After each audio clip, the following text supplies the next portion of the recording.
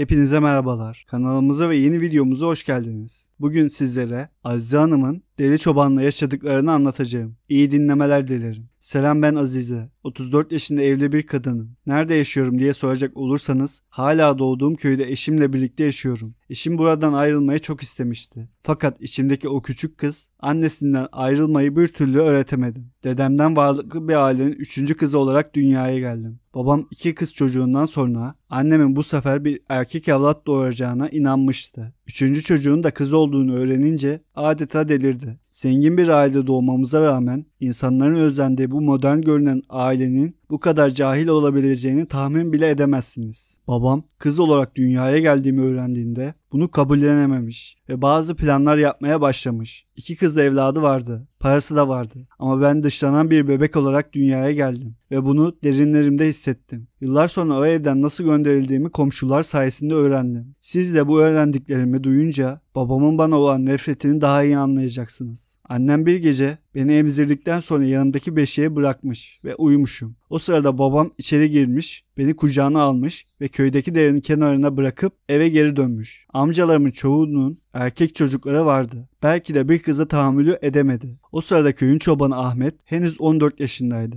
ve beni gördüğünde hemen kucağına alıp kulübesine götürmüş. Ahmet kimseye bir şey söylememiş. Annemi tanıyordum ama onunla görüşemiyordum. Babama baba diyordum fakat içimdeki boşluğu dolduramıyordum. Annem beni beşikte bulamayınca babama hesap sormuş. Köy halka ayaklanmış. Her yerde beni aramışlar. Deli çoban Ahmet olayları bana anlattığında ben aya kadar bir bebektim. Hatırlamıyorum bile. Deli çoban Ahmet o zamanlar yaşı 15 civarındaydı. Şimdi ben 30'larında bir kadın. O ise 45 yaşında bir adam. Annemin kim olduğunu bana anlattı. Fakat hala aynı köyde yaşamama rağmen ailemi tanımıyor gibi davranıyorum. Çünkü herkes beni ölü kabul etmiş. Babam da derinin beni alıp götürdüğünü düşünüyor. Ahmet ben büyüttüm dese kim inanırdı ki? Ahmet beni babamla bırakmak istememiş. Seni kucağıma aldığımda anacığına geri verebilirdim. Ama bu vicdansız baban sana da anana da zarar verirdi demişti. Ben bebekken deli gibi süt arayıp ağlamışım. En zor kısım ise annemin kokusundan ayrı kalmakmış. Ahmet'in evinden gelen ağlama seslerine komşular kayıtsız kalamamış. Birer birer rahatsız olmaya başlamışlar. Bu yüzden köyden gitmek zorunda kalmış. Ne yapacağını bilmeden bir kamyona binip İstanbul'a kadar gelmiş. Sonra şans eseri deli çobana bir adam bu bebekle bu arada hayatta kalamazsın demiş. Allah razı olsun o adam bizi evine aldı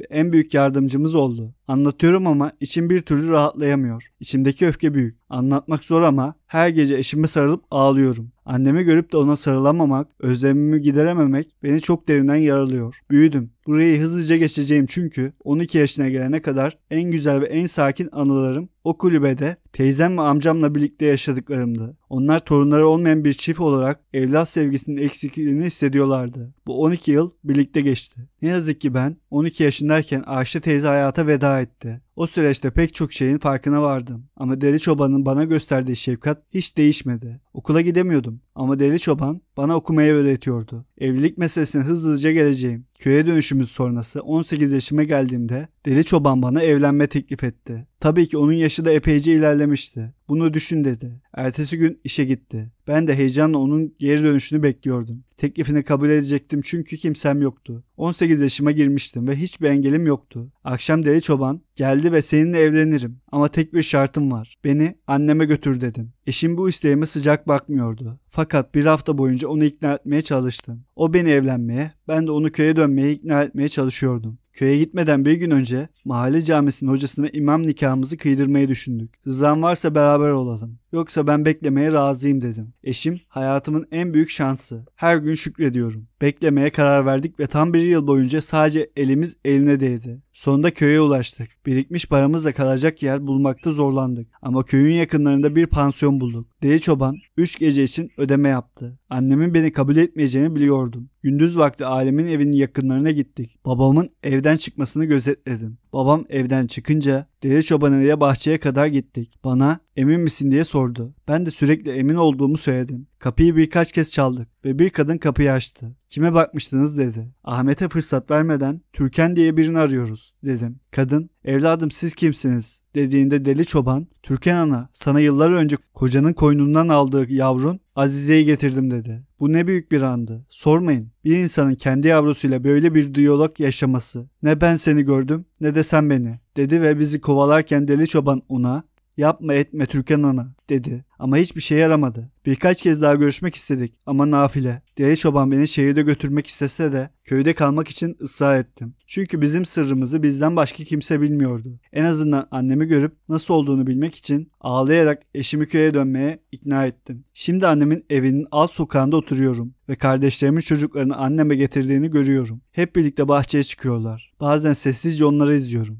Kaderden payıma düşen hayırlı bir eşle avunuyorum. Hissettiğim hüznü anlatmak mümkün değil. Bugün size hiç duymadığınız bir hayat hikayemi paylaştım. Beni dinlediğiniz için teşekkür ederim. Evet dinleyiciler, Aziz Hanım'ın hayat hikayesini anlattım. Açıkçası beni de oldukça şaşırttı. Böyle şeyler de var mıymış dediğim bir hikayeydi. Özellikle 14-15 yaşındaki bir çocuğun neredeyse beşikteki bir bebeği alıp büyütüp sonra onunla evlenmesi konusuna nasıl bakıyorsunuz? Ben bu duruma soru işaretiyle bakıyorum. Bir sonraki videoda görüşmek üzere, esen kalın.